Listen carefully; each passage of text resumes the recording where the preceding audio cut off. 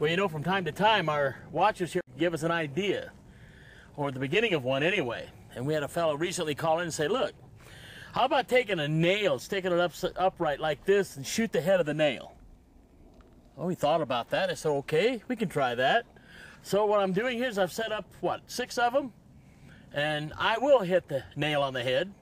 And the hammer I'll use is a Marlin 45 lever action rifle. Let's give it a try.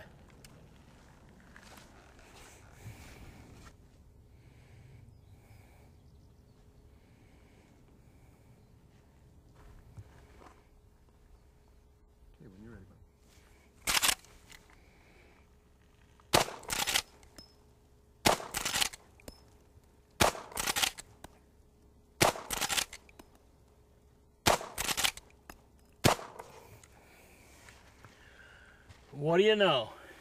We did it. We're gonna add a little dimension to it. What do you say we try it with the old 45 Colt single action and hit the nail on the head once again?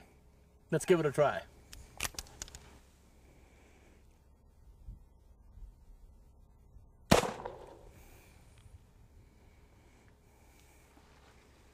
You thought I was gonna miss, didn't you?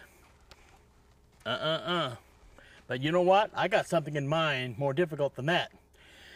You know, we're asking the one question, we're hitting the nails, but how do we know you're hitting it on the head? I think I've got the answer. Watch this. Okay, here's what we're gonna do. I'm gonna take this nail, place it back on the target board, as such, right there. Well, we got some wet cardboard here, looks like. We're gonna take an aspirin tablet and place it on the head of the nail.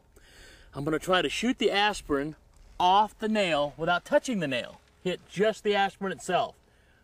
Yes, with the handgun. And how about adding a little dimension to it? How about upside down as well?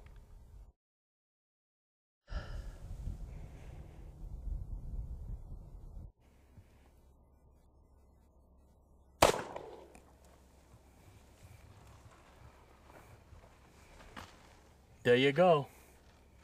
You know, doing a shot like that gives me a headache. But then I'm out of aspirin. What are you going to do? See you next time.